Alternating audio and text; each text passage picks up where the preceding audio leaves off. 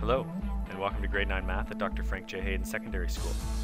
This semester we'll be covering seven units in this course, starting with numeracy, and a look at some of the skills you'll need to be successful in math.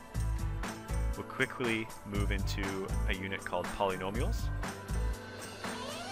and then some introduction to algebra, a look at geometry, measurement, linear relations, and finally we'll end the year with analytic geometry. Some of you might have heard already that the final exam in this course is the grade 9 EQAO, and at the end of the semester we will have approximately a week and a half to study and prepare for that based on the work we've done in this course already. The best place to get information on this course is through the Hayden website, you'll see that on the front page of the grade 9 website. There's a calendar detailing everything that we're going to be doing every day. Most often on each day, there'll be a link to a video lesson which you need to watch the day before. This is your homework every night.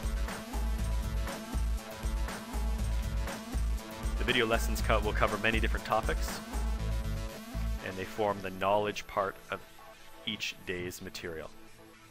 You'll see this one is about multiplying and dividing fractions. When you watch these videos, you should be taking notes as you go. And in some cases, your teachers will provide you skeletons of notes to help you move along. As well, each day we'll have a link to some practice questions, which you need to either print out and bring to class ahead of time, or download to your personal device or laptop. Some lessons may even include a sample note or other important information. Class updates will also be posted above the calendar. We've included a link to our course outline, which by this point your teacher should have gone over with you.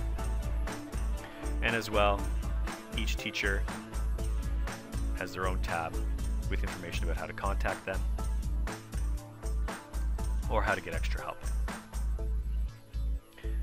At this point, you should be clicking on uh, lesson 1.1, integers and BEDMAS, and following the link for the video lesson, which you can watch tonight in preparation for tomorrow's class.